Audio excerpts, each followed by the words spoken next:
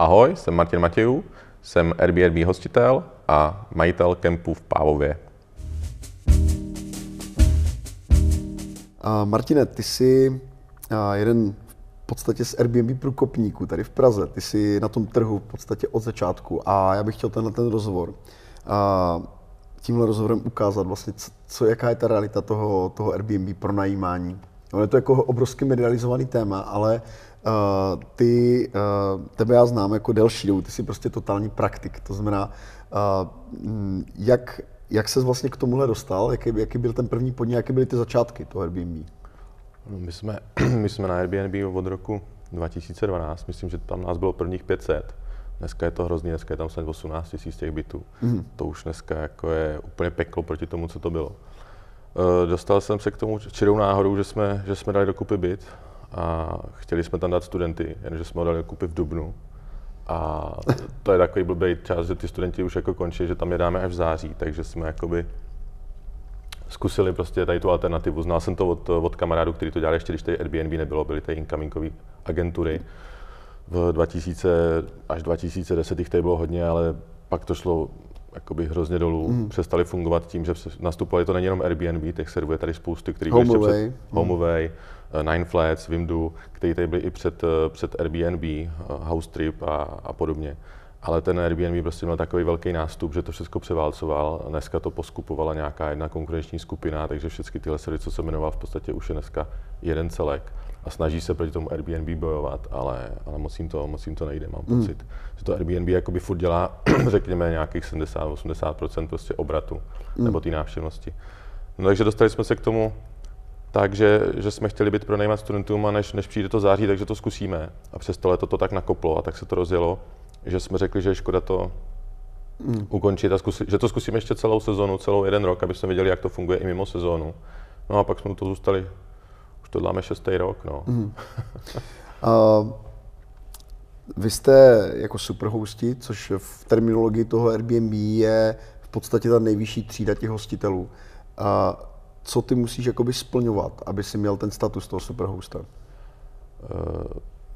musím zaklepat, že se nám podařilo být 6 let po sobě mm. tím superhostem, co to jakoby začali dělat. Ze začátku to byla jako taková no, novinka, řekněme po tři čtvrtě roce, co jsme začali, tak, tak teprve to vzniklo ten superhost. Nebylo to úplně od začátku. Eh, je potřeba mít samozřejmě dobrou komunikaci eh, s hosty, nebo s, já nevím, jestli klienty hosty, můžeme říkat. Mm. To znamená včas, rychle, dobře jim odpovídat na otázky. Pokud někdo na nějaký request, že chce u té bydlet, tak mu Eh, nějakým způsobem rychle odpovědět na jeho dotazy, případně potvrdit, eh, akceptovat eh, jeho žádost o ubytování. Další věc je, že se teda nesmí taky rušit. Pokud jakoby už někomu slíbím, že u mě může bydlet, tak pokud si to nezruší sám, tak mu, tak mu ubytování nerušíme. To znamená, je dobře potřeba si ohlídat, pokud člověk inzuje na více serverech, aby nedošlo k nějakému konfliktu. Mm.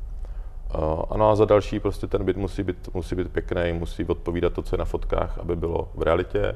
Eh, je potřeba, aby eh, bylo pěkně uklizeno, nachystáno. Eh, když člověk přijede nebo host přijede, tak se o něho dobře postarat, to znamená nějakým způsobem ho uvítat, ukázat mu jen, nejenom byt, ale ukázat mu i možnosti Prahy, případně okolí, kde ten byt člověk pronajímá. No a pak ještě nějakým způsobem se s tím hostem rozloučit a, a popřát mu nějaký další pěkný výlet a, a doufat, že, že, že se mu u nás líbilo. No. mm. Eh, máme tam plno vychytávek, a kterými se snažíme hosty motivovat k tomu, aby se jim v Praze líbilo, aby se vraceli. Ať už to jsou krásní nějaký eh, turistický průvodci, jakoby vymyšlený vlastní trasy, kam mají jít, ať už jim doporučíme dobré restaurace, ať už jim půjčujeme mobil k tomu, aby kdyby se něco přihodilo, mohli si, mohli si zavolat mm. a, a uh, nemít strach, že provolají Mailand, protože třeba spousta lidí z Ázie přijede, má výborný datový tarify, ale nedovolí si telefonovat. Mm. Nezjistil jsem ještě přesný důvod, ale myslím si, že prostě uh, mají tam tak daný jakoby ty operátoři, že data pro ně jsou skoro zadarmo, kde, jakoby v roamingových pásmech, když to telefonování asi stojí Mailand, takže jako třeba jenom píšu. Tak taky tyhle lidi jakoby kvitují, že dostanou nějaký mobil. Mm. Můžou si telefonovat po Praze zadarmo nebo po Čechách. Uh, volají nám minimálně. Říkám, hele, kdyby se něco stalo, volejte i v noci, Uh, to se ještě nestalo. Ale ten dobrý pocit toho člověka, že ten telefon má u sebe, prostě je bombastický. A přitom je to maličkost, dáš do toho SIM kartu za pár korun.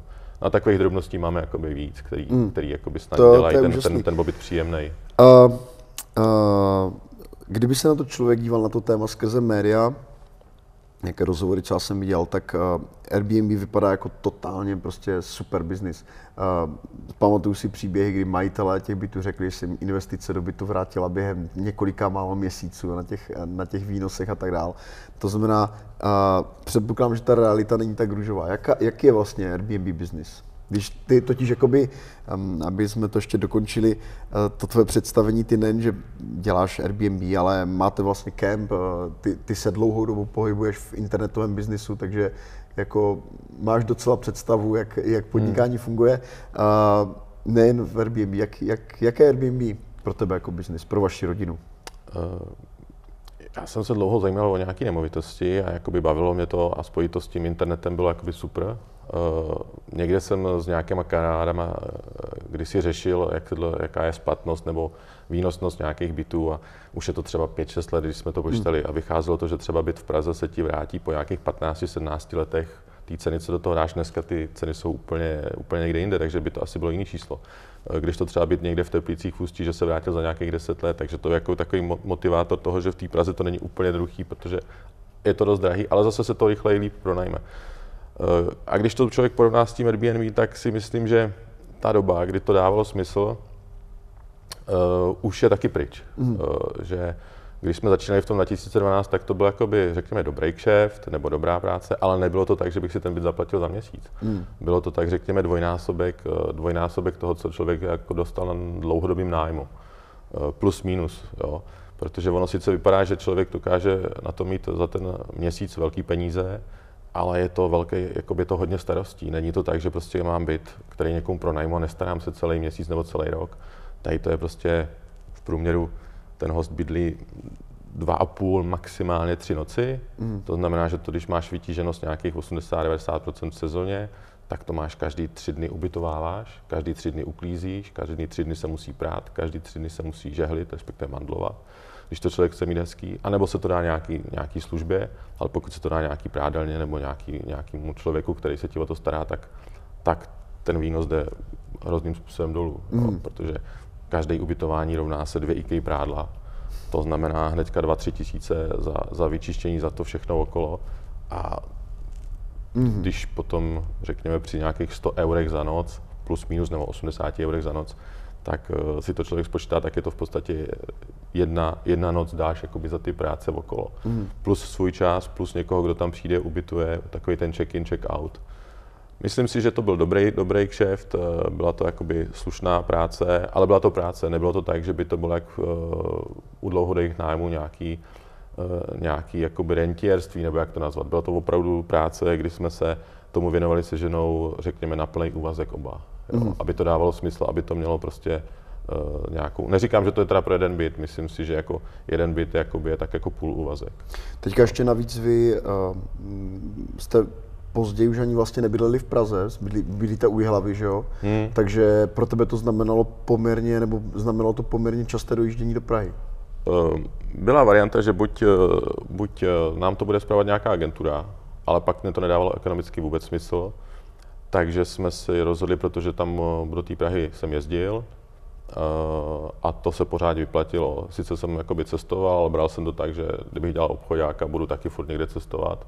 Takže jakoby bylo to investice našeho času do našeho biznisu nebo našeho projektu. Eh, když to bylo možnost, tak eh, nám pomohl nějaký, nějaký kamarád nebo jsme si jakoby někoho, nějakou studentku třeba hmm. jakoby najmuli na některé práce. Samozřejmě měl jsem najmutou paní uklízečku nebo paní uklízečky a tak dále, ale Eh, víceméně jsme se to snažili dělat sami. Mm. Jo.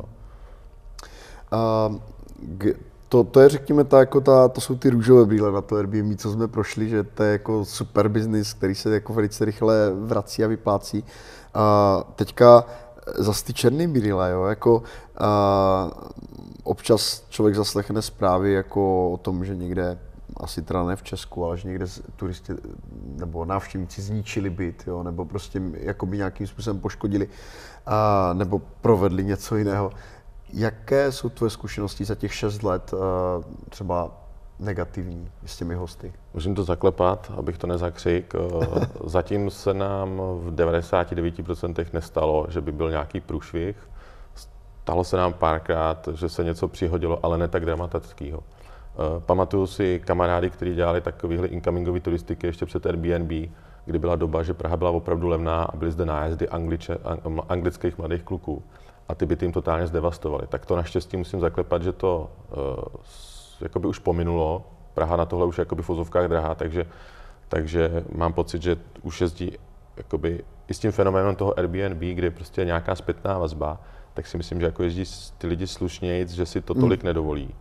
Uh, byla tady nějaká aféra s dánskýma studentama tři, čtyři roky zpátky, někdy v lednu, v únoru, že jsem najížděli na nějaké jejich prázdniny, to jsme se toho báli třeba, protože jsme měli kamarády, kterým se přihodilo. Ale zase se nám to nějakým způsobem naštěstí vyhnulo. Mm. Takže by nestalo se nic, nic dramatického za tu dobu. E, to, že se rozbijou skleničky, to, že se rozbije nějaký nádoby, to je, to je provozní záležitost, mm. zajdeš do IKEA, vyřešíš. E, jednou se nám tam nějaká parta Němců trochu opila, dokázali rozbit e, klozet, dobře, byli opili, něco dobrý, eh, na druhou stranu bylo to férový, řekl jsem nějakou cenu, zaplatili námi, já jsem to opravil, prostě se to stane. Jo. Hmm. Ale že by bylo tak, že by někdo zdevastoval byt, tak musím zaklepat, protože ještě hmm. nějakým způsobem v tom pokračujeme tak, aby se to nepřihodilo do budoucna, ale ne. Uh, jsou kuriozity, kde nám vytopili během jedné sezóny několikrát koupelnu, respektive sousedy. Uh, ale to se stalo zase díky tomu, že to byli lidi z Jižní Koreji. A to jsou takový paradoxy, kdy oni se sprchují vedle vany. A když nemáš v koupelně odtokový kanálek, tak to teče k sousedům. tak to fakt nevymyslíš. Trvalo mi to dlouho, než jsem na to přišel. Dělala to furt jenom jedna národnost. A když jsem se teda potom pídil, tak mi bylo vysvětlené, že oni si dají jakoby vanu a u nich je to jako nějaká, nějaký zvyk, kdy si dají jako vanu a berou to jako lázeň. To znamená, když je tam pět lidí nebo čtyři, tak se všetci vyspruchují vedle vany. A do vany jdou jako do lázně, aby tam šli čistí. To znamená, že pak jako sousedi nebyli úplně happy, no. tak to je výborná historka. Ale od té doby jsem nalepil v koupelně anglické popisky, jakože dávat si pozor a, a tak dále. A, hmm. a když viděl jsem, když přijedou ty lidi z, z Koreji, tak jsem jako je upozorňoval. Mladí, co studují v Anglii nebo podobně po Evropě, tak, tak se tomu smáli, hmm. že už jsou jiná generace ti starší zatím, nebo nikdo se netvářil, že by byl uražený, prostě jsem jim vysvětlil ten příběh, jak se to, co se stane, když jak vysprchují vedle. to byla taková veselá, veselá, dneska už veselá, předtím to tak veselý nebylo. Mm. když jsem říkal, proč je vytopený zase soused, stalo, stalo se mi to několikrát v té sezóně, že jo. Ale, Geniální. No. Uh, mm, dále by mě zajímalo, uh, takhle, když, když my jezdíme prostě po světě, tak uh, já pozoruji jako obrovský, obrovské rozdíly mezi tím, jak uh, dokážou uh, různí majitelé nemovitostí nájemných uh, jako designovat tu službu. Mě třeba osobně jako hosta strašně irituje, když třeba přijdu do, do interiéru a teď, teď jsou tam takové ty různé příkazy, jako tohle smíte, tohle nesmíte, jo, prostě. Když po sobě neuklidíte kuchyň a prostě nevyhodíte, prostě nevyklidí ledničku, tak vám budeme účtovat nějaké prostě extra poplatky. A to znamená, jako já to vnímám jako špatný design té služby, že, přijedu někde, chci se tam cítit komfortně a hnedka mi tam ten nepřítomný majitel prostě uh, drábuje v podstatě. Jo. Uh, co podle tebe dělá, jako ty, ty jsi zmínil některé detaily, ale co podle tebe dělá jako ten jako skvělý zážitek z toho ubytování? Co jsou ty jako úplně ty nosné věci, které, které dělají prostě ten, ten, ten, uh, ten super komfort, který vy jako se snažíte vytvořit? Snažíme se těm hostům do toho moc nekecat, u nějakým způsobem snažíme se slušně hmm. ubytovat nebo uvítat. Eh, vysvětlíme co a jak a dát jim možnost volby, kdyby potřebovali, že jsme pro ně k dispozici 24 hodin. Mm. A nějaký takový příkazy nebo něco vůbec jako neřešíme, to mě ani nenapadlo. Mm. Samozřejmě mám cedulky, tady je elektřina, pozor, no, jasně, informativní. Uh, klasický, mm. v tý, od určité doby i v koupelně teda tam trošku příkazový jsou. nějaký cedulky jsme si nechali vyrobit a pojď vytisknout, nalepit, aby se nám jako to mm. nestálo. A to, ty myslím si, že většina lidí to bere s humorem. Mm. Koupelně nebo v kuchyni, v pokojích eh, automaticky se mě ptají třeba, kde jsou popelnice velký a tak, tak říkám, hele, jsou tamhle, tamhle, ale tak, jak budete odjíždět, hmm. nechte to, to je naše záležitost, to je moje práce prostě po vás uklidit. Hmm. Uh, jsou hosti, kteří jsou slušní, uklidí tak, že prostě člověk má pocit, že tam vůbec nikdo nebyl, hmm. vystelou, všechno, jsou jiní, po kterých prostě nepořádek, chcou si ten zážitek užít, ale že bychom nějak jako zásadně omezovali. To, to právě myslím, já, mi, já, to se, si myslím, já se ptal opačně. Si, no to si myslím, uh, že neděláme. Jakoby, že co, je prostě... vlastně, co, co, je vlastně, co jsou ty pilíře, na kterých vy stavíte jakoby ten zážitek, jestli teda se o to snažíte? Hele, to, když už k nám, jako říkám, snažíme se nějak jako uvítat, aby fotky odpově- aby realita hmm. odpovídala tomu, co jsme jim nabízeli na těch fotkách, a víceméně, víceméně nic. Možná takový, eh, spousta hostitelů třeba dává, eh, když si už jako rezervuješ ten pobyt, jo, tak, eh, tak třeba dávají striktní podmínky, že hmm. když stornuješ, nedostaneš ani korunu, nebo když stornuješ měsíc, tak dostaneš 50% nebo něco takového. Já razím teorii, že prostě když jeden stornuje jeden předem tak, a nepřijede, tak prostě nepřijede. A beru třeba tohle, že jakoby takový favor už při, tom, mm. při, tom, už při té registraci toho. Takže máte ty flexibilní podmínky, jo? Naprosto, protože mm. uh, za prvý stalo se mi, nebo stane se za, za celý rok, že třeba nepřijou dva hosti. Uh, a většinou ti slušně napíšou, že někdo onemocněl buď těžce, nebo nějak lehce, nebo mají nějaký mm. problém, uh, vysvětlí to a prostě se stane. Buď sežeš někoho jiného, nebo ho, tak máš dva mm. dny třeba volno. Jako bylo. Ale Chápu. přístup, když hmm. potom přijedou vysloveně, eh, že bychom jako my stáli za zadkem, jak se říká, hmm. nějak jakoby kontrole nebo něco vůbec. Hmm. Ale když máme i check-out, eh, větší, většinou věříme těm lidem, že, že stačí nám nechat tady klíče, zabouchnout a jdou. Eh, nepotřebuji ani jakoby při, po nich jít kontrolovat. To, jo. Uh, ty jak vlastně popisuješ ten, ten, ten proces toho Airbnb, že to musí chystat co dva, co tři dny, jo. A ta komunikace pravděpodobně probíhá velice často večer, kdy lidi asi si vybírají ubytování nebo přijou domů z práce. Jak je jako celkově jako náročný pro tebe a stresující jako ten provoz zajistit?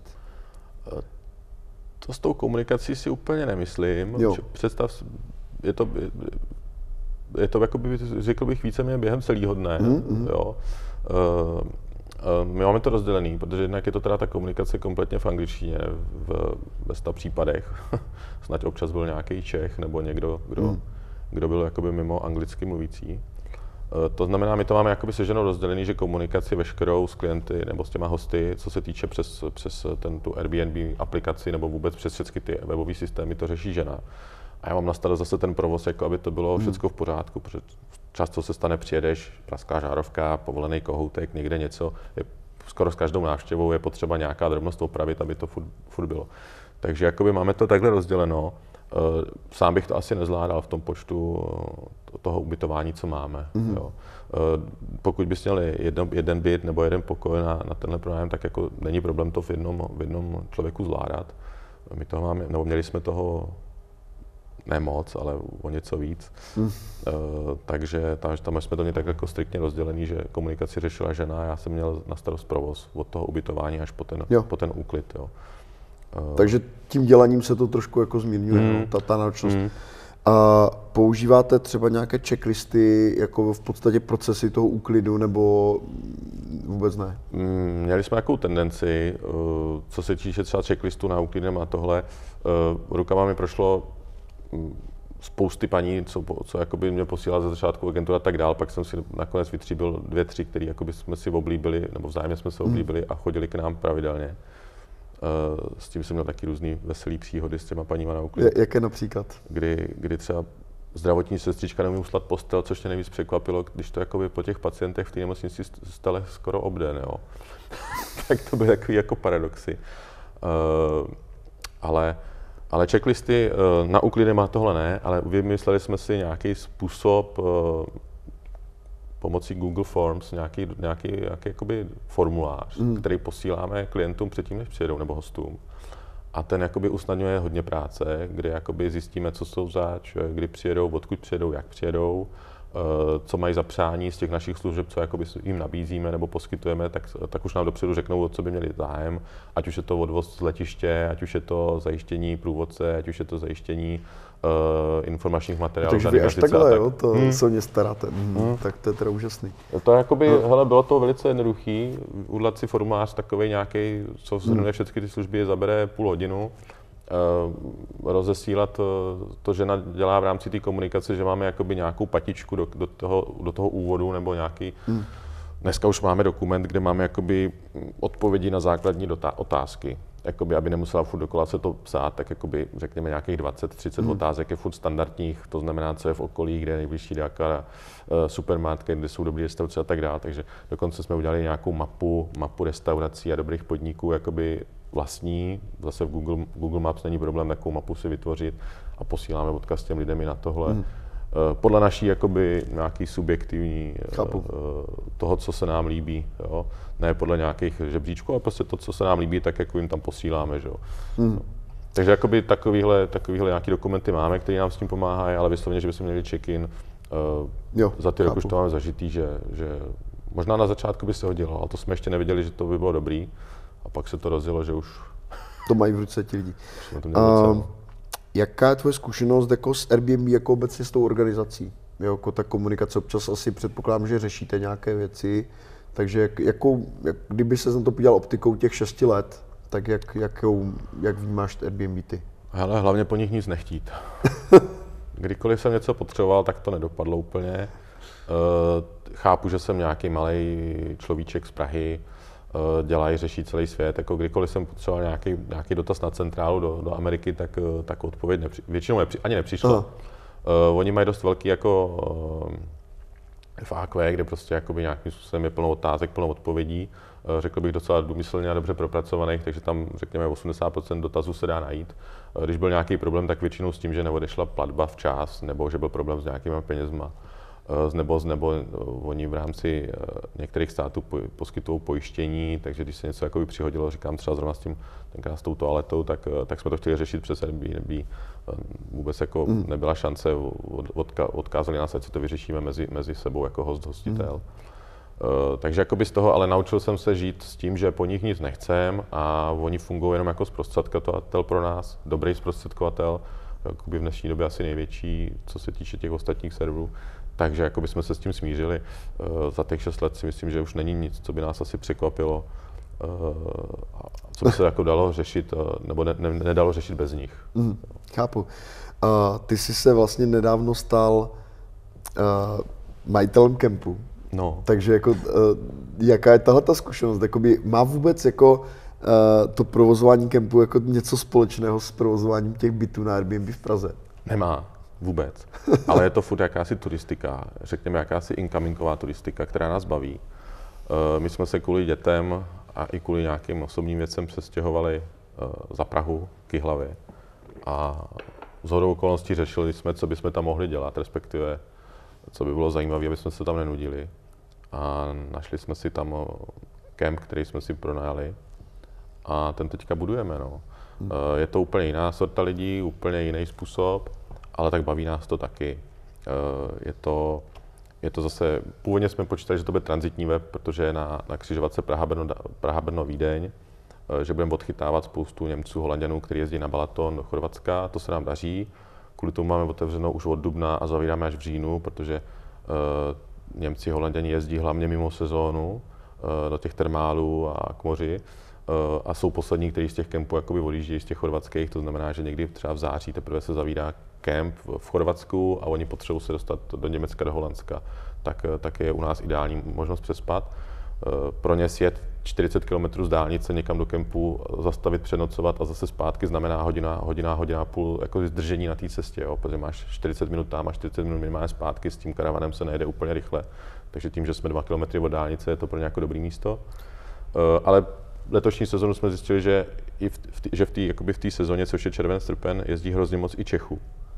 Takže jakoby musíme přehodnotit to, že to nebudeme jenom transitně brát, ale musíme jakoby začít dělat věci pro Čechy. To znamená, uh, dali jsme do, do kupy nový sociální zázemí, novou elektřinu pro karavany a tak dál, mm. ale to bylo jakoby všechno cíleno na ten transit. To znamená, teď se musíme postarat, aby jsme tam měli nějaký jakoby zábavu pro děti, ať už je to nějaký dětský hřiště, nějaký klůzečky, uh, nějaký lepší občerstvení a, a tady tím směrem, no, aby jsme zabavili i ty, i ty rodiny s dětmi, kteří tam prostě chcou po okolí, buď na kolách nebo do zoologický. Jak se, jak se marketuje takovýhle kemp, když máš kemp někde? Úplně stejně jako Airbnb.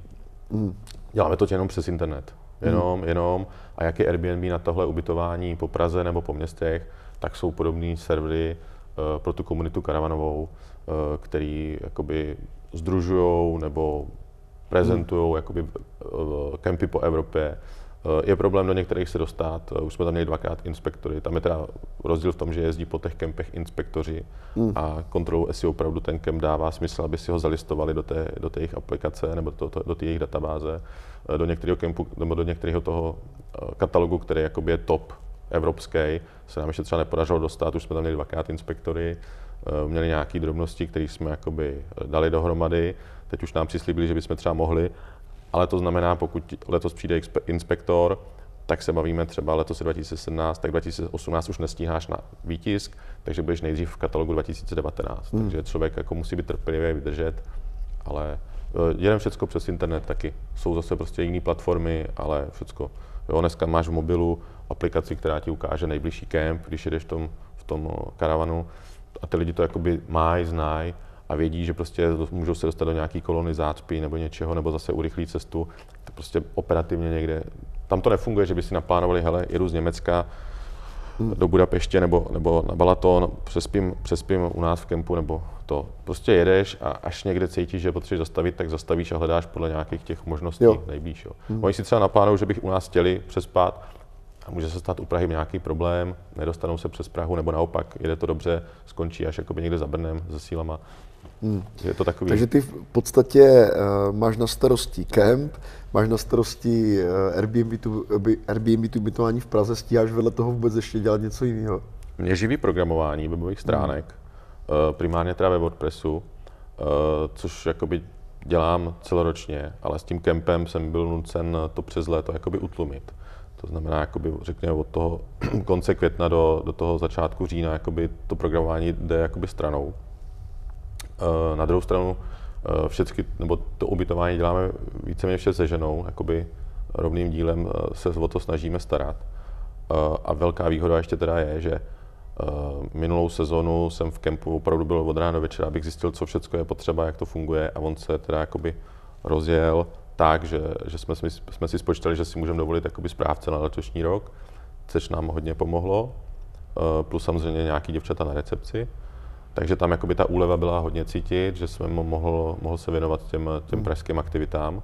Nicméně jakoby v sezóně červené srpen eh, není šance, abych programoval. Na druhou stranu kemp se zavřel teďka eh, k poslednímu říjnu, takže mám do dubna volný večery, tak zase zpátky. Se živím tím, co, co umím nejlíp. No. Martine, moc děkuji za rozhovor. Díky, já držím palce děkuju, dalším, děkuju, děkuju. s dalším biznisem tady v tomhle náročném Děkuji za pozvání. Díky.